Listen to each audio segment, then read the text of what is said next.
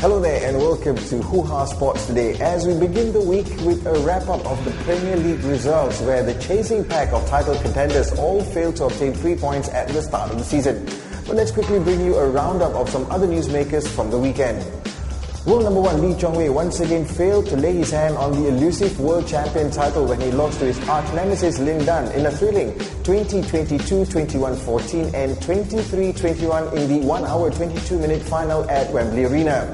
Chong Wei may be the world number one, but he still succumbed to the dominance of Lin Dan, this one the 17th in 24 meetings between the two. To other record sports, another Malaysian world number one, Nicol David, was in superb form when she defeated world number two, Jenny Duncalf, in straight sets to win her first Australian Open title. This was Nicol's first ever title down under, marking her 700th professional career match, and come at the end of August, will extend her reign as the world number one to 61 consecutive months. That's five years and a month at the top. More racket not involving Malaysians. Tennis. Novak Djokovic continued his splendid run this season, claiming the Rogers Cup when he defeated Mardy Fish in the final. This is Djokovic's fifth ATP 1000 Masters title and is the first player to win five of them in a year. He's also the first person to win an ATP tournament in his debut as the world number one, since Pete Sampras did it 18 years ago. And winning ways is certainly returning to former world number one Serena Williams when she claimed the women's title. It's back-to-back victories for Serena after capturing the Bank of the West Classic two weeks ago. This will raise her position in the rankings from 80 to 30 when the list, when the list is released today.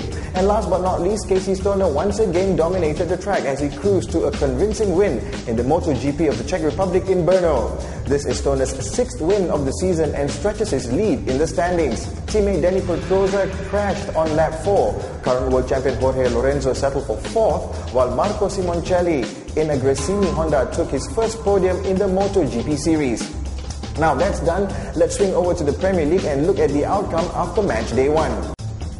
Can't read much into the results after just one match, but the truth of it is that the chasing pack of Arsenal, Chelsea and Liverpool all drew their openers.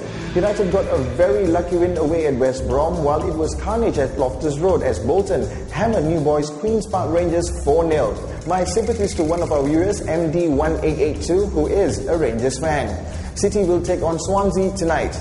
To the standings, better take a snapshot of this Bolton fans because this scenery is so precious. Same can be said for Wolves fans, but as we mentioned, it's only one game. While at the bottom, home losses for West Brom, Blackburn and Rangers will not augur well in the run for survival.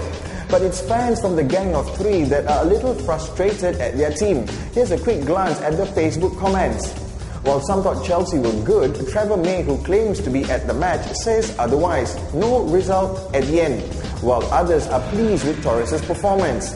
Over at the Arsenal FB page, it's a battle between those who want Wenger to stay and those who want change, plus the fence sitters who are looking at the ideal replacement should Wenger go.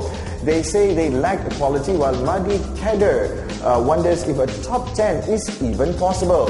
And on the Liverpool page, well, honestly, looking at their comments, it seems like the fans had a better strategy and game plan than King Kenny Dalglish. But Ricky Siva observed that the new signings did put in a good performance. It's just match day one, and the 2011 2012 Premier League season has already got your pulse racing.